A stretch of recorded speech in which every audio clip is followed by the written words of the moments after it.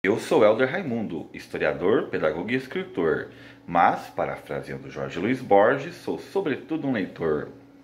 E, sendo escritor, como vocês sabem, eu escrevo o tempo todo, em todos os momentos, ainda que involuntariamente. 2024 tem novidade por aí. Sabem muito bem que estudo há muito tempo Sigmund Freud e Zygmunt Bauman. E para isso, estou concluindo uma obra de Zygmunt Sigmund a Zygmunt, diálogos necessários do mal-estar, e que provavelmente ficará pronto no próximo ano, trará uma relação íntima entre o autor austríaco e o autor polonês. O Freud escreveu na década de 30 do, século passado Mal-estar na civilização ou mal-estar na cultura.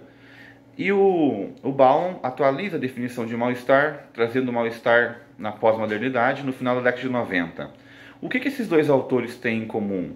Como que o mal-estar é atualizado? Como que nós do século XXI vivemos esse mal-estar e como viveram no século XX?